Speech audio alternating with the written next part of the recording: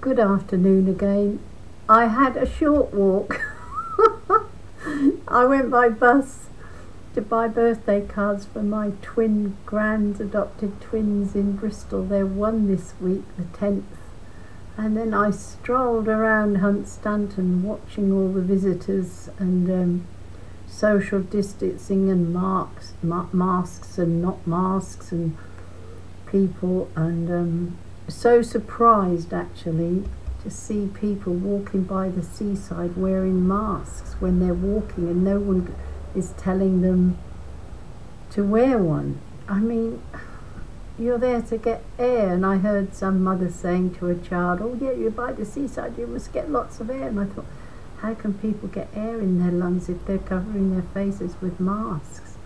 And when I went in the card shop, I just showed my um, thing I showed. I'm exempt from covering my face thing. And they let me in, and I bought the cards, and off I went, and um, met a nice couple along the beach. They came and sat right next to me, my age group, and we had a long, good chat. It was fascinating. They're from Kings Lynn, so yeah, that was a good. I had a good time. I walked up the road to near Tesco and got the bus. I didn't think I could walk two miles. In fact, I'm sure I can't. I've got to start walking every day and then I'll be able to walk those two miles easily I knew I couldn't. Anyway, enough of that. I'm going to read you what we had in church today. They don't read as much as what I do. I can assure you the verses were, they give us this paper to bring home and that's all you get, no books. You have to take this paper away and it, we had Ezekiel chapter 33, verses 7 to 9. I heard better preaching on the internet before I went from Walsingham, a father James Mary, and when I came back at midday, he was doing the same mass again for other people, and he preached just as well at that. But you can actually upload it from Walsingham and hear it. It was very, very good. So I'm going to um, read from the Bible the two readings we had. We also had St. Paul to the Romans, chapter 13, only verse 8 to 10. That's not many verses, is it? So I'll do those two for you because I found them very powerful, more so because of the priest from Walsingham who preached. Our, our priest is retired, so we'll forgive him. He's 81 and he's marvellous to do the Mass at his age, isn't he? And has to put on mask when he's giving out Holy Communion. He preached reasonably well, though, about love and forgiveness, but it's not in the same class as Father James Mary. Anyway, um, this, I'll make sure I'm reading the right verses, so uh, before I start, 7 to 9 is not many, is it? Okay. This is a reading from Ezekiel chapter 33, verse 7 to 9. If I say to someone wicked, evil doer, you are to die, and you do not speak to warn the wicked person to renounce such ways, the wicked person will die for this guilt, but I shall hold you responsible for the death. If, however, you do warn someone wicked to renounce such ways and repent, and that person does not repent, then the culprit will die for this guilt, but you yourself will have saved your life. Now I'll go to the chapter um, Romans. I'll just make sure that I'm in the right one. 13 verses 8 to 10. And this is what they preached on today, both of them. Love and law. The only thing you should owe to anyone is love for one another. For to love the other person is to fulfill the law.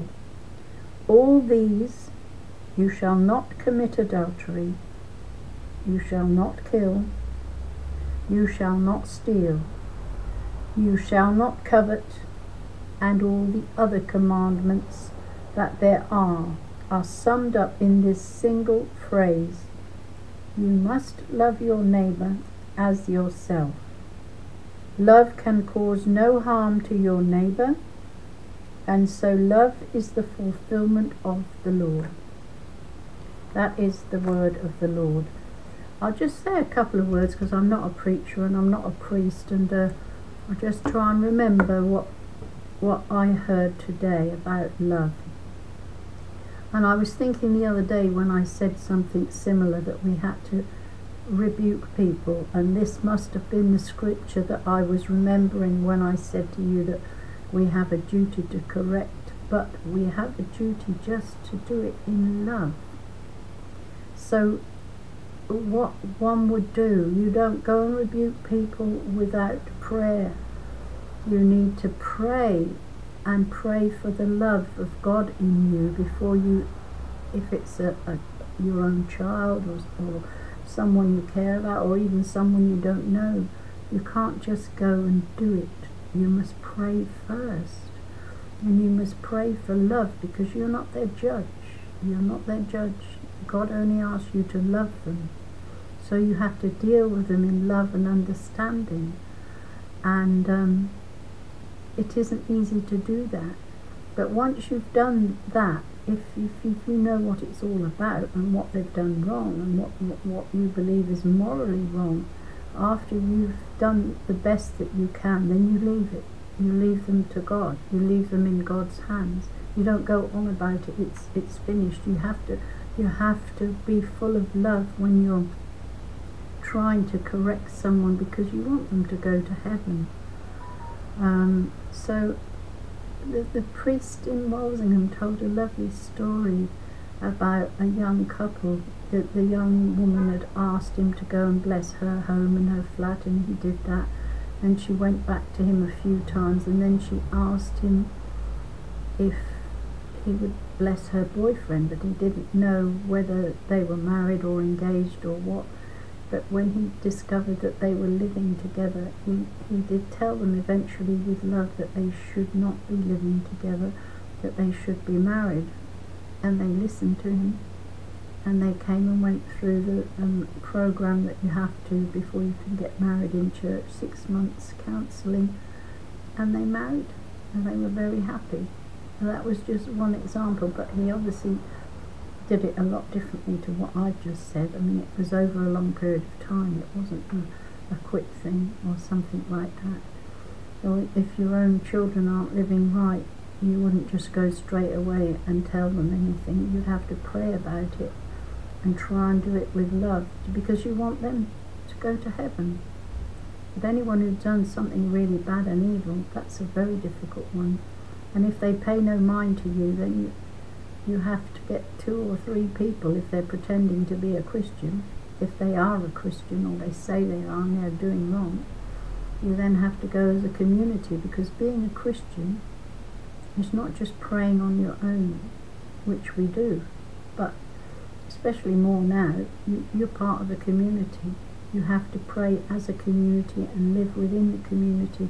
You're, you're, you're not you're not just in a as they modern people say, a personal relationship with Jesus.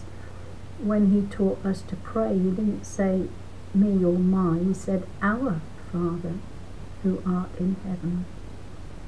You know, so he taught us to pray together. So that's basically what we have to do. So I didn't learn a lot today, did I really? But I'm trying to share it with you and I'm not doing a very good job. So I think best you read the scriptures yourself and try and understand better than I did. All right, God bless you all. I'm going to do some other, uh, not not not a Bible daily bit, doing something else now. All right, God bless you. Enjoy the rest of your day. Bye.